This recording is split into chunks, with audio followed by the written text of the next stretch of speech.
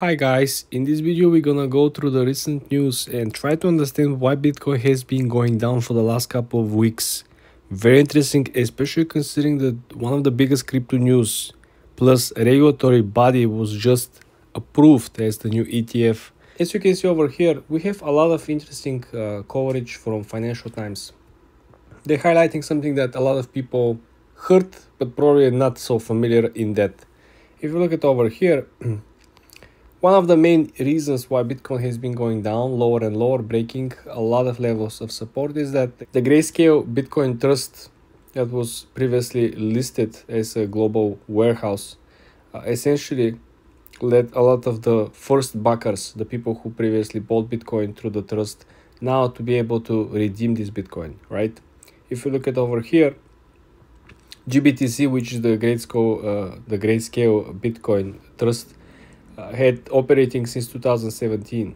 The reason for this particular sell-offs is that last week this uh, Grayscale Bitcoin Trust converted to an ETF, giving the backers, the original investors, their first opportunity to reclaim the 28 billion dollars of Bitcoin that they previously collected. And in four days after this switch to ETF and the ETF approval, Grayscale Bitcoin Trust saw redemptions totaled more than 1.6 billion dollars.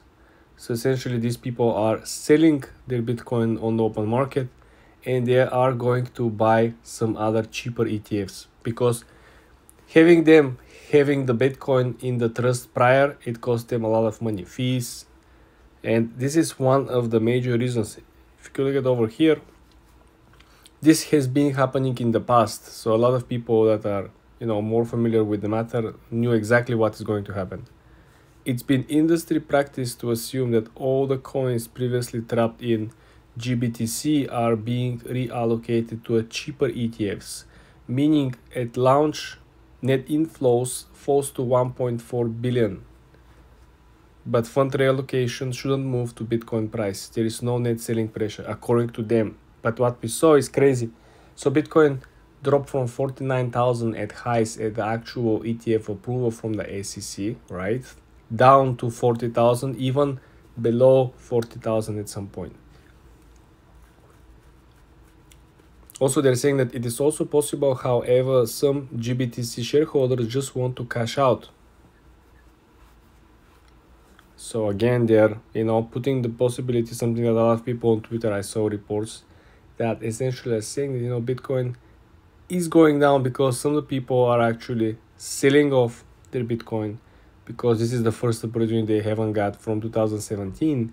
You know, this is uh, clearly seven years, and now they might be looking to you know have a lower entry price, lower cost basis, and probably purchase uh, cheaper ETF with a lower maintenance and cost basis.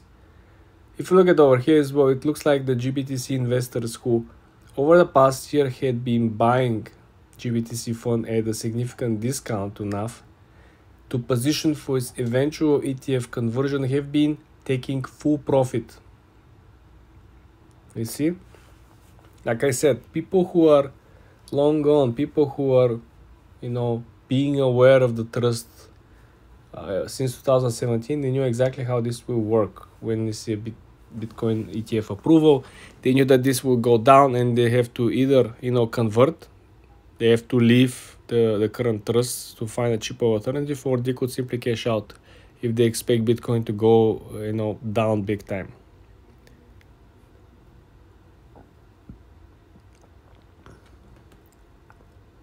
We had previously estimated that up to $3 billion had been invested into GBTC in the secondary market during 2023 which is it's a it's a large sum of money guys.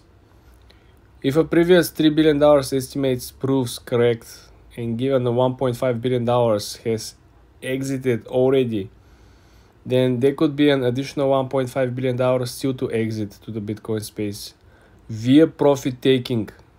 So the sales might not be over guys.